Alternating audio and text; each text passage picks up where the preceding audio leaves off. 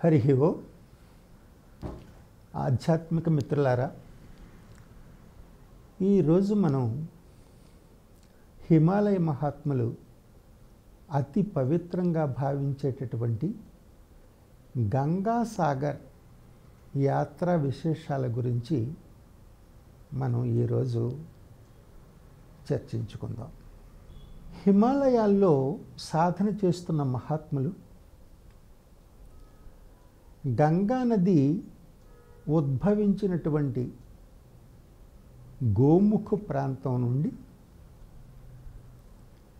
అది అనేక ప్రాంతాలను దాటుకుంటూ అరేబియా మహాసముద్రంలో ఉండేటటువంటి గంగాసాగర్లో కలిసే వరకు కాలినడకన ఈ హిమాలయ మహాత్ములందరూ కూడా యాత్ర చేసుకుంటూ వెళ్ళడం ఒక సాధన విధానంగా వాళ్ళు భావిస్తారు.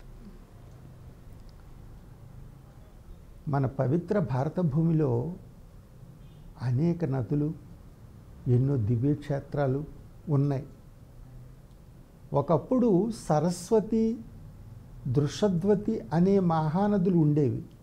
కాలగర్భంలో అవి కనుమరుగయ్యాక ఈ గంగా నది అనేటటువంటి ఈ గంగా పరివాహక ప్రాంతం అద్భుతమైనటువంటి ఆధ్యాత్మిక క్షేత్రాలను మనకు పరిచయం చేసింది.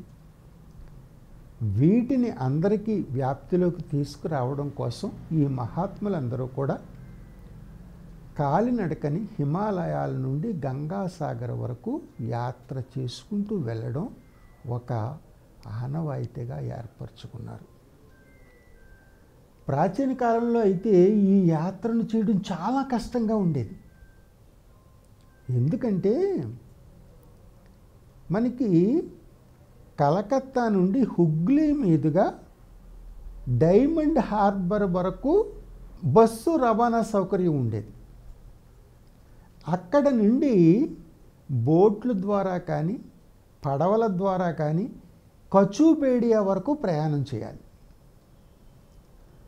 కచూబేడియా నుండి ముప్పై ఏడు కిలోమీటర్ల దూరంలో ఉన్నటువంటి ఈ గంగాసాగర్ ప్రాంతంలో ఉన్న కపిల మహర్షి ఆశ్రమం మడ అడవితో నిండి ఉండేది. ముప్పై ఏడు కిలోమీటర్ల దూరం మడ అడవిలో నిండినటువంటి అక్కడికి వెళ్ళడం అంటే సామాన్యమైన విషయం కాదు. జనవరి పన్నెండు నాటికి ఈ సముద్రం నీరు వెనక్కి వెళ్ళేది. అప్పుడు నేల కనిపిస్తూ ఉండేది. కానీ మడాడవి ఎంత భయంకరంగా ఉంటుందంటే ఆ ఆకు మన శరీరానికి తగిలేటప్పటికీ ఆ ఆకు నుండి పాల లాంటి పదార్థం కారుతుంది. అది మన శరీరంలో ఎక్కడన్నా తగిలిందంటే అక్కడ గాయంగా మారుతుంది. అందుకని ఈ యాత్ర చాలా కష్టతరమని చెప్పడం కోసమే సబ్కీ యాత్ర బార్ బార్ గంగా సాగర్ ఏఖీ బార్ అనే సామెత ఏర్పడింది. ఏ క్షేత్ర దర్శనమైనా ఏ యాత్ర అయినా అనేక సార్లు చేయగలమేమో కానీ ఇంత కఠినతరమైనటువంటి గంగాసాగర్ యాత్ర ఒక్కసారి చేస్తే చాలు అనుకునే భావం ఏర్పడిందన్నమాట. అయితే ఆ తర్వాత పరిస్థితులు మారాయి. ఈ జనవరి పన్నెండు నాటికి వెనక్కి వెళ్ళిన నీరు మళ్ళీ పదహారో తారీఖు నాటికి ఆ సముద్ర నీరు వెనక్కి వచ్చి మళ్ళీ ఈ ప్రాంతం అంతా కూడా నీటితో మెలిగిపోయేది ఈ నాలుగు రోజుల్లోనే ఈ ప్రయాణం అంతా చేయవలసి వచ్చేదనమాట అయితే ఇప్పుడు ఏం జరిగిందంటే ప్రజల యొక్క అవసరం ప్రభుత్వం యొక్క సూచనలు శ్రమశక్తి వాళ్ళ యొక్క కఠోర పరిశ్రమ మొదలైన సహకారాలతో ఈ భూమి అంతా కూడా ఇప్పుడు ఒక పూర్తిగా నివాసయోగ్యంగా మార్చబడింది. ఇప్పుడు అక్కడ అనేక ఈ గంగాసాగర్ ప్రాంతంలో అనేక ఆధ్యాత్మిక క్షేత్రాలు కూడా నెలకొన్నాయి. అంతేకాకుండా ఈ అనేక పంటలు రొయ్యల చెరువులు చేపల చెరువులు అక్కడక్కడ తాడి చెట్లు కొబ్బరి చెట్లు అనేక పంటలు కూడా పండించడం ప్రారంభించారు. నివాసం అయోగ్యంగా మారిన తర్వాత ఇప్పుడు జనవరి ఆరో తారీఖు నుండి మాఘ పౌర్ణమి వరకు కూడా ఈ స్నానాలు చేయడం ఇప్పుడు మొదలైంది.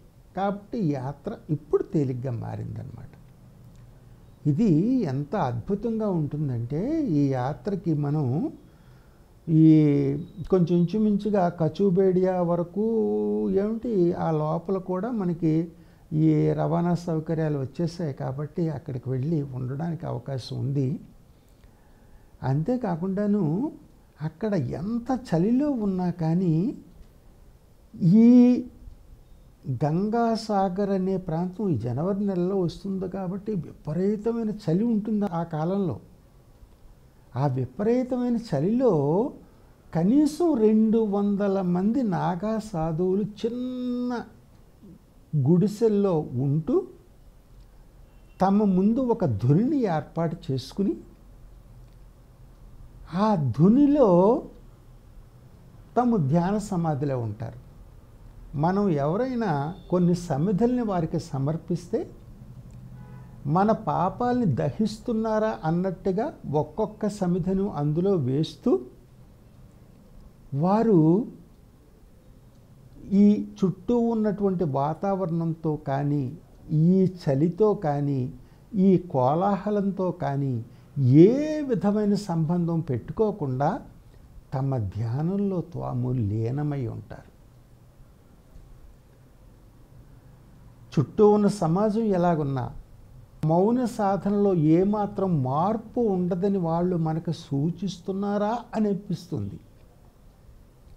ఎందుకంటే మనకి కాలం చాలా విలువైనది. మన జీవితం చాలా అపురూపమైనది. మనం ఎప్పుడైనా కానీ వీటికి దూరం అయ్యామంటే ఈ కాలము మన జీవితము కూడా ఒక ఇబ్బందికరమైన పరిస్థితిలోకి నెట్టబడుతూ ఉంటుంది. అందుకోసం ప్రతి క్షణాన్ని మనం పూర్ణంగా జీవించగలగాలి. అలా జీవించగలగాలంటే మనకు ఓర్పు సహనం అవసరం అవుతుంది. ఓర్పు సహనం లేని జీవితం చాలా అనేక రకాల ఇబ్బందులకు లోనవుతూ ఉంటుంది. అందుకోసమని మనం మన జీవితానికి ఈ శరీరం ఒక ఉపాధి అయితే మన ఆత్మకు ఈ శరీరం ఒక ఉపాధి అయితే మనకు ఈ జీవితం అనేది ఒక వరం. దాన్ని మనం పూర్ణంగా అనుభవించగలగాలి. ఇది మౌన తరంగాల ద్వారా ఆ మహాత్ములు మనకు చెప్తున్నారా అన్నట్టుగా వాళ్ళు అంత ధ్యాన స్థితిలో ఆ చలి కానీ ఈ భయంకరమైన కోలాహలం కానీ ఏమాత్రం లేకుండా వాళ్ళు మౌన తరంగాల ద్వారా మనకి ఇటువంటి ఉపదేశాలు ఇస్తున్నారా అనిపిస్తుంది. మనం అక్కడికి వెళ్ళి ఆ గంగ ఈ సాగరంలో కలిసేటటువంటి ప్రాంతంలో స్నానం చేసి అక్కడ కపిల మహర్షి ఆశ్రమం ఉంటుంది. ఆశ్రమాన్ని దర్శించాలి. మనకి ఒకప్పుడు చెప్పారు కదా గంగానదిని ఎందుకు భూమి మీదకి భగీరథులు తీసుకురావడానికి ప్రయత్నం చేశాడు? దానికి కారణం ఏంటి? ఈ పరిస్థితులన్నీ మనకు తెలుసు కదా. ఒకసారి ఒక యజ్ఞం చేస్తే ఆ యజ్ఞాశ్వాన్ని ఆ ఇంద్రుడు కపిల మహర్షి దగ్గర ఇది చేస్తే అక్కడికి వెళ్ళినటువంటి ఈ భగీరథుని యొక్క పూర్వీకులు అక్కడికి వెళితే ఈ యాగ ఆశ్వాన్ని ఈ వీళ్ళే ఈ కపిల్ మహర్షి ఏదో చేశాడనే భావంతో వీళ్ళు అక్కడికి వెడితే ఆయన కోపంగా చూస్తే ఆ సమయంలో వీళ్ళందరూ దహించబడ్డారని. దానికోసం ఆ వరుసగా వాళ్ళందరూ కూడా ఎవరూ చేయలేని పని ఈ భగీరథుడు ఆ గంగ కోసం తపస్సు చేసి ఆమె యొక్క ఇదిని తీసుకుని అప్పుడు వచ్చినటువంటి పరిస్థితులన్నీ మనకు తెలుసు కదా.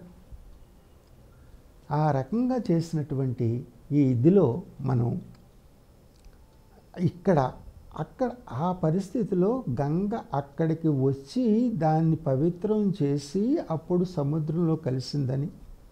ఈ గంగ ఉద్భవించడం కోసం భగీరథుడు ఎంతో తపస్సు చేసి దాన్ని భూమి మీదకి తీసుకొచ్చాడని. శివుడు ఆ గంగను తన శిరస్సుపై ధరించి అనేక పాయలుగా ఈ గంగ విడితే అది మళ్ళీ ఋషికేశ్ ప్రాంతం నాటికి వచ్చేటప్పటికి గంగగా మారిందని. అక్కడి నుంచి తిన్నగా ఈ గంగాసాగర్ వరకు ప్రవహించి ఇక్కడ ఉన్నటువంటి కపిల మహర్షి ఆశ్రమంలో అది ఆ ఆ భగీరథుని యొక్క పూర్వీకుల యొక్క శరీరం భస్మైనటువంటి శుద్ధి చేసి వాళ్ళని పవిత్రులను చేసిందని వాళ్ళు మన పూర్వీకులే కాబట్టి మనం కూడా అక్కడ స్నానం చేసి వాళ్ళందరినీ తలుచుకోవడం అంతేకాకుండా హిమాలయాల్లోనే గంగ పుట్టింది కాబట్టి మామూలుగా చూసినా హిమాలయాల్లోనే గంగ పుట్టింది కాబట్టి ఆ గంగ అక్కడి నుంచి మన అవసరాలన్నీ తీరుస్తూ మన పంటలకు మన యొక్క స- అవసరాలకు అన్నిటికీ ఉపకరిస్తూ ఇంతవరకు ప్రయాణం చేసి కలిసిన ప్రదేశం కాబట్టి ఈ రకంగా కూడా మనం అందరం కూడా దాన్ని ఇది చేస్తున్నామని మనకి చెప్పడానికి ఈ అద్భుతమైనటువంటి యాత్ర క్షేత్రం ఇది ఇక్కడ అద్భుతమైనటువంటి ఆ మహాత్ములందరూ కూడా హిమాలయ మహాత్ములందరూ కూడా ఈ ప్రాంతానికి రావడం మనకి తెలుసు.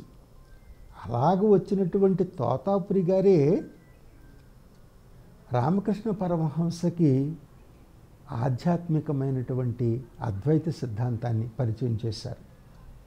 అంతేకాకుండా ఈ ఇక్కడికి వెళ్ళిన ప్రతి ఒక్కరూ కూడాను బెంగాల్లో అతి ప్రాచీనమైనటువంటి పవిత్ర క్షేత్రం నవద్వీపును కూడా దర్శించి వస్తారు.